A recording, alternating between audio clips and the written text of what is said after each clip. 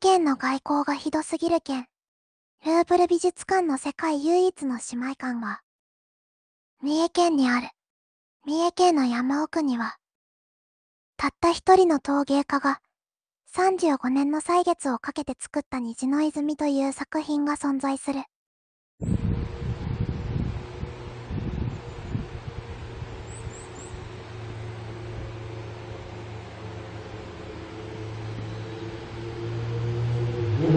カカ服の CM が懐かしい。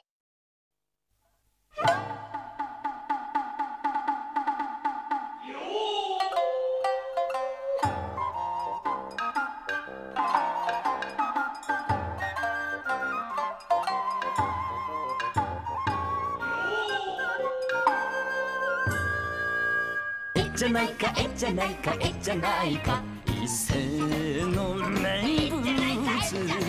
かもちはえじゃないか」